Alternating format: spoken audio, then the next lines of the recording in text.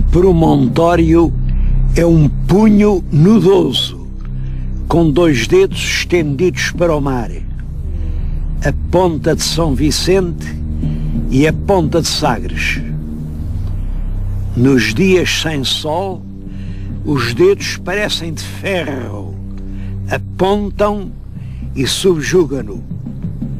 Em frente o mar ilimitado, embaixo o abismo, a cem metros de altura. Ventanias ásperas descarnam o morro cortado a pique e no inverno as vagas varrem-no de lado a lado. Sagres é o cabo do mundo.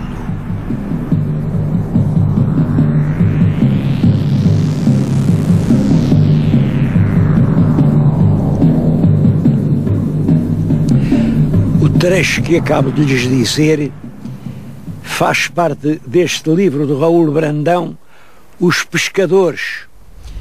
Os Pescadores é um dos livros mais bem escritos no século XX em Portugal.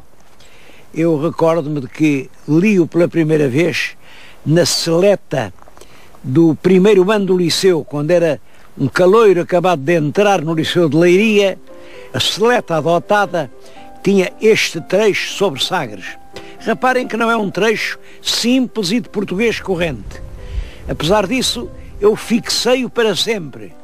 E, a meu ver, isto marca a importância que um bom texto de português pode ter na educação literária dos estudantes. Quando hoje venho a Sagres, há duas grandes figuras que me recordam. O Raul Brandão com os seus pescadores e o infante Dom Henrique com os seus navegantes.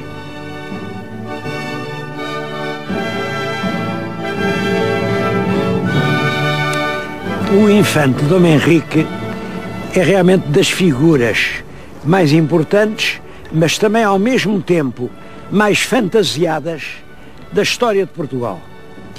Eh, como sabem, o infante Dom Henrique é filho do rei Dom João I. Ele era o quarto filho, porque o primeiro era o Dom Afonso, que morreu no Vito, depois o Dom Duarte, que foi rei, depois o Dom Pedro, que é o infante de Alfarrobeira, a seguir ele, infante Dom Henrique. Estou-lhes a falar num sítio muito importante, estou-lhes a falar aqui em Sagres, esta é a vila que ele fundou, eh, chamava-lhe a Vila do Infante, e fundou-a por razões também curiosas que eu lhes hei de explicar. E, e atrás de mim veem na parede da fortaleza uma grande lápide. Aquela lápide foi ali mandada colocar pelo general aqui do Algarve, que era o então Visconde de Sá da Bandeira, mais tarde veio ser Marquês de Sá da Bandeira, que se chamava Bernardo de Sá Nogueira, e que era um homem muito patriota, um homem romântico, e que, enfim, considerava, e com razão, o infante a maior figura da história portuguesa. Tenho aqui um livro, eh, um livro que se chama O Infante Sagres, do Fortunato Almeida, porque eh, ao infante do Henrique, como ele viveu aqui muitos anos, ficou esse cognome de Infante Sagres. E ele diz aqui, tem aqui uma transcrição do que diz aquela lápide. A lápide tem dois textos, um, um escrito à direita, outro à esquerda. O do lado de lá está em latim, o do lado de cá está em português. Bom, e isso é muito curioso, isso é muito curioso porque aqui é de 1839. Em 39 ainda se escrevia em latim com a ideia de que os estrangeiros também percebiam. Liam o latim, ficavam a saber. O português era para os portugueses. Não vou ler a lápide toda, tenho aqui escrita no livro do Fortunato, mas vou-lhes ler a parte mais importante.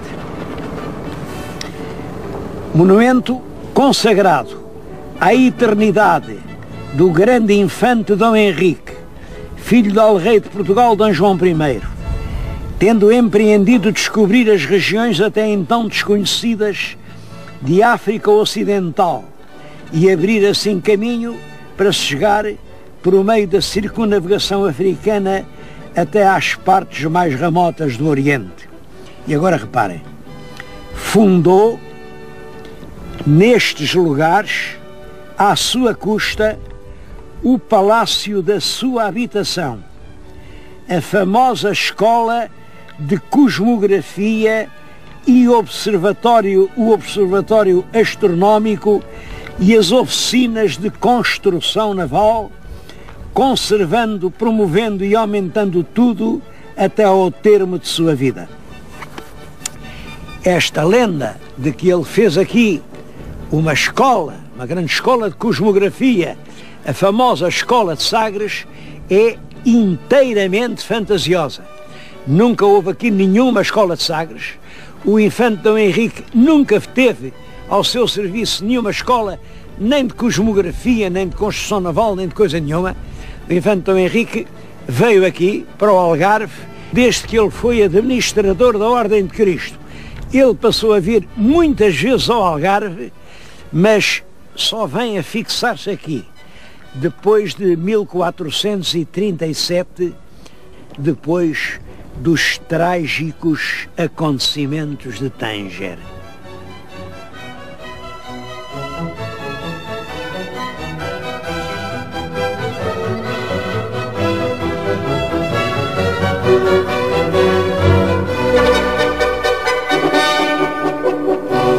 O infante Dom Henrique nasceu provavelmente no Porto. Eu digo provavelmente porque só temos a certeza de que as festas do batismo foram feitas no Porto. Nasceu em 1394 e depois, quando o pai, enfim, lhe quis dar uma situação, ele foi nomeado administrador da Ordem de Cristo.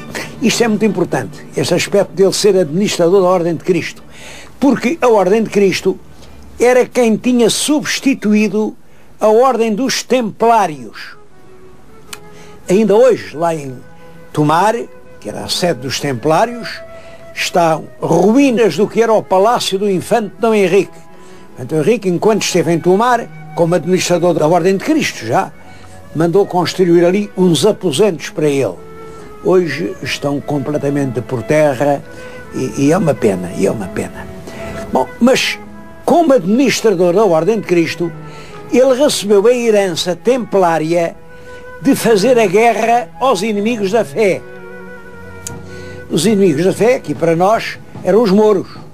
A Morama, que vinha lá da África, durante muito tempo a guerra foi em terra, no Afonso Henriques tem guerra contra os mouros em terra, o Sancho I em terra, o Afonso II, o Sancho II, até que o Dom Afonso III consegue expulsar completamente os mouros do Algarve. Ele mandou-os embora. Bom, mas a guerra não acabou por isso. Porque é claro que os mouros deixaram de estar instalados aqui no Algarve português, mas continuaram no mar. E, portanto, era preciso continuar a guerra agora naval. E essa é que é a verdadeira razão. Porque o infante Dom Henrique, como responsável pela ordem monástico-militar que tem a seu cargo a guerra naval, se torna no homem das navegações, o homem dos navios.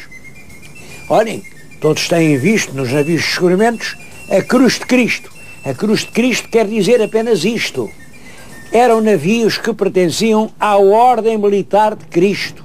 E eram esses navios que faziam aqui a guerra contra os corsários e os piratas sarracenos que eram imensos. Não havia semana que aqui nestes mares se não vissem os piratas que assaltavam as aldeias, assaltavam os lugares, cativavam os cristãos, eram um, realmente uma ameaça permanente. É isso que leva o infante Dom Henrique, desde o momento em que é administrador da Ordem de Cristo, a vir aqui para o Algarve, porque é claro que era a partir daqui que ele podia fazer a guerra do mar, do mar. Portanto, a, a ideia de que ele só veio para aqui depois de Tanger não é completamente verdade. Ele estava aqui porque era o responsável pela guerra marítima contra os corsários do Islão.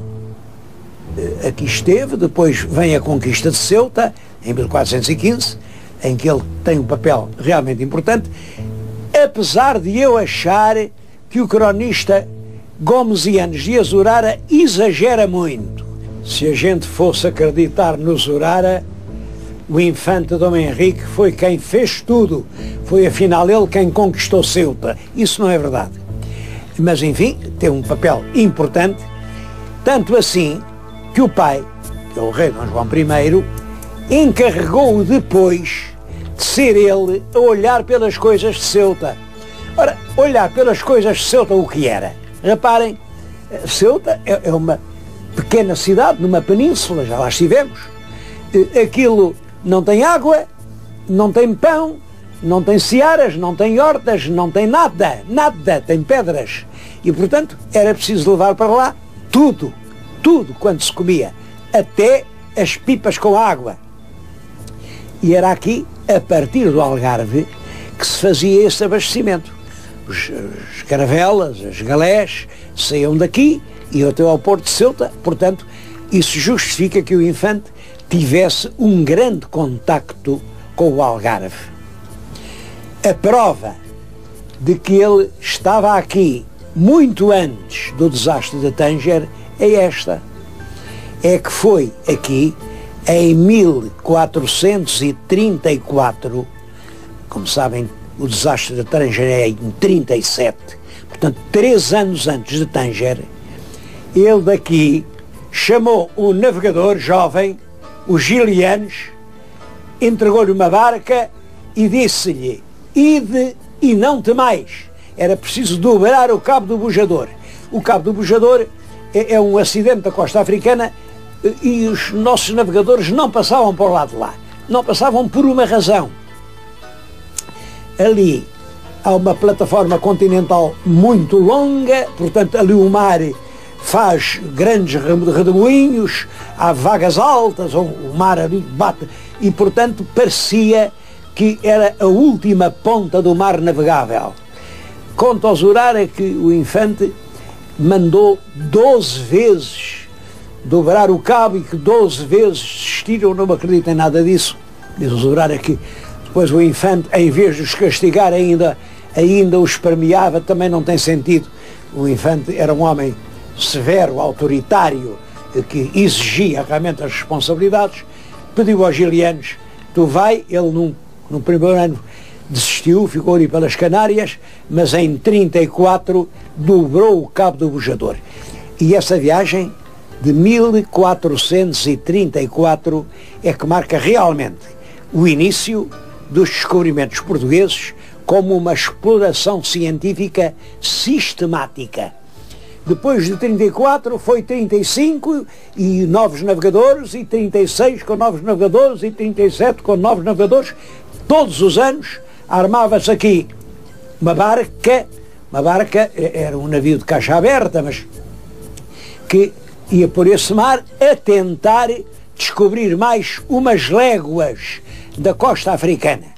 O infante Henrique tomou realmente, realmente a peito, descobrir todo o litoral africano que nessa altura era completamente ignorado pelos geógrafos e pelos navegadores europeus.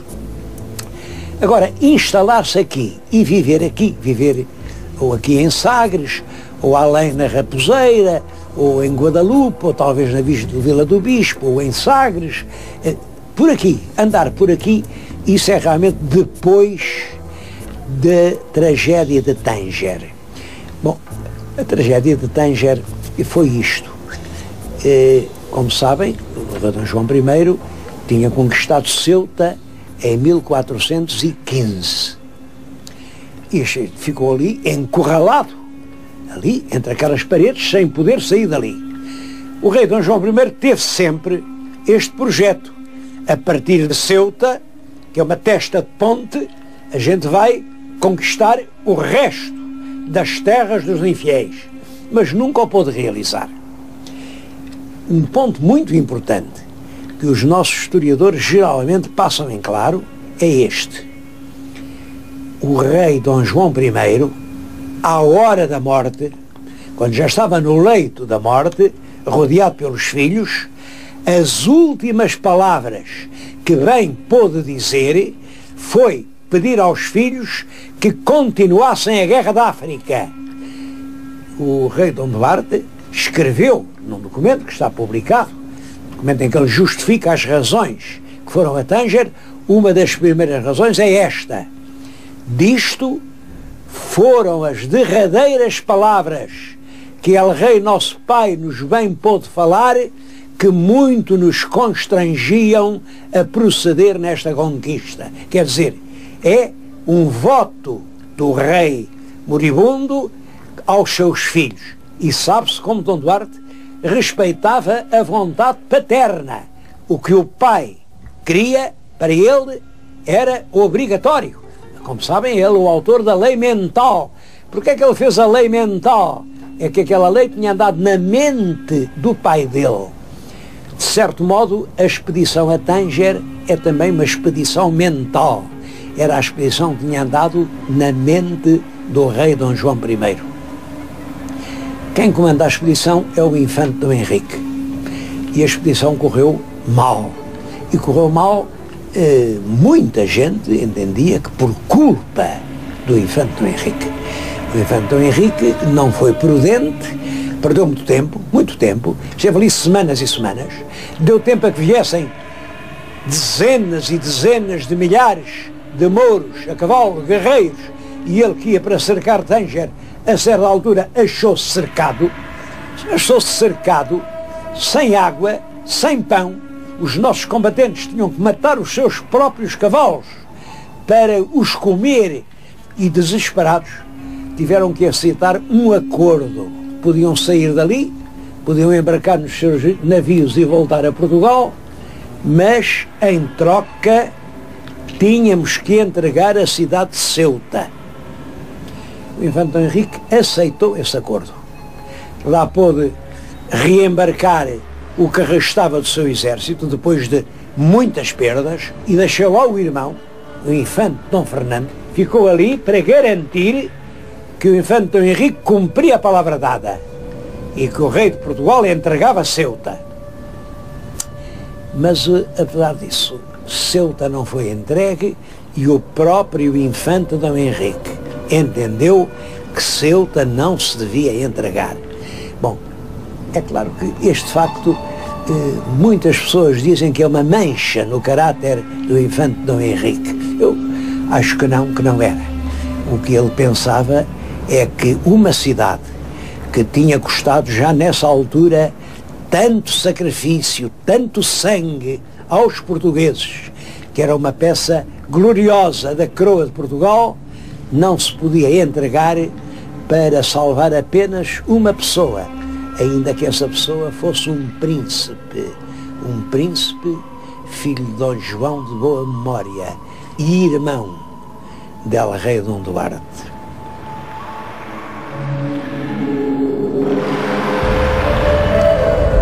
Os nossos historiadores românticos, então os nossos pintores e escultores, imaginaram o infante aqui nestas penadias, a olhar o mar ao longe. Bom, eu acho que ele não era nada assim. Era um homem muito positivo, muito prático, um homem que sabia ver os negócios e realizá-los.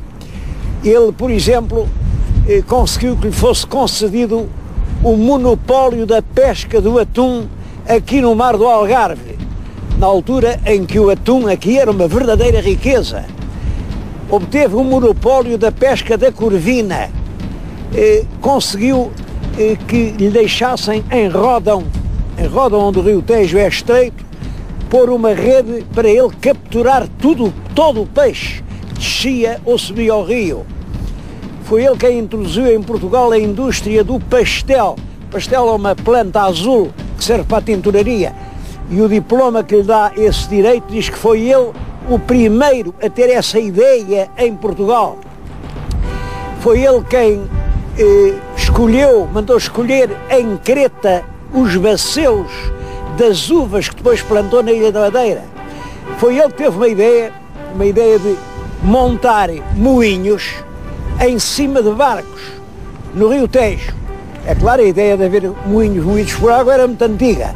Agora, pô-los nos barcos para aí fazerem a sua moagem era uma ideia nova.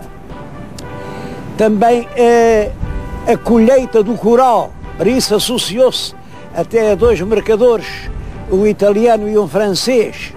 É, é ele que instala em Portugal uma indústria de sabão. Portanto, é um grande empresário. E um dos projetos que ele teve foi instalar no Algarve uma escala comercial. Vamos ver como isso era.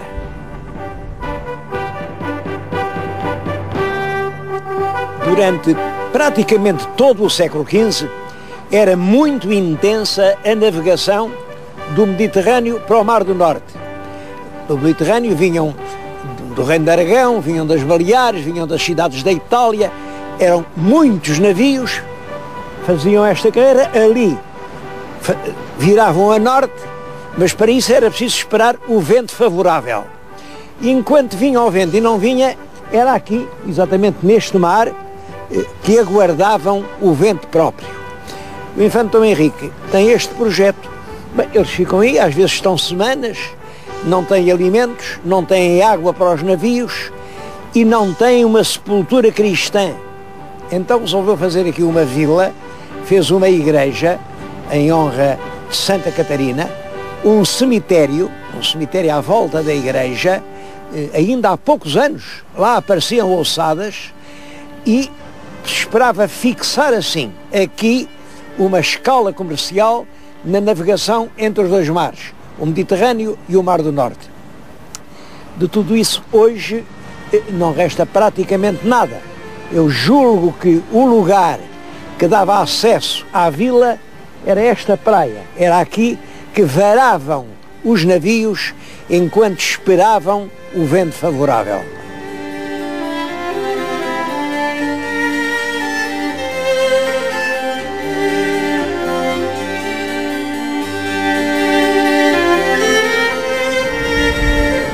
Mas a mais notável de todas as empresas do Infante foi a transformação da atividade marítima da Ordem de Cristo, uma atividade puramente militar, numa atividade científica. Agora, em vez de corrermos atrás dos corsários mouros, íamos por mundos nunca antes navegados e tentávamos encontrar uma imagem nova do mundo. Foi por isso que, ainda em vida do infante, os portugueses chegaram à Madeira e transformaram num jardim da Europa e às ilhas dos Açores e a Cabo Verde e toda essa região africana ficou conhecida. E quando o infante morre, esse impulso enorme continua e em breve os portugueses ultrapassam o Cabo da Boa Esperança, entram no Índico. A Índia vai ser, durante todo o século XVI, a razão de ser de Portugal. E estão no Brasil. O Brasil será realmente o nosso grande apoio económico durante o século XVII e o século XVIII. E depois, saídos do Brasil, fazem o Império Africano, que dura até ao século XX. Raramente um homem pôde influir tanto no destino coletivo do seu país como o infante Dom Henrique. A sua memória está aqui agarrada a estes rochedos, a estes recessos, a esta espuma das ondas do Parlamento Algarvio. Está em causa um processo para que esta região seja qualificada património da humanidade. Foi de facto aqui o berço de uma grande parte da humanidade europeia esparzida pelo mundo. Eu acredito que raramente a atribuição de património da humanidade será tão justa como será neste caso esta região de espantosa beleza, uma beleza bravia, inesquecível, que é todo o Barlavento Algarvio.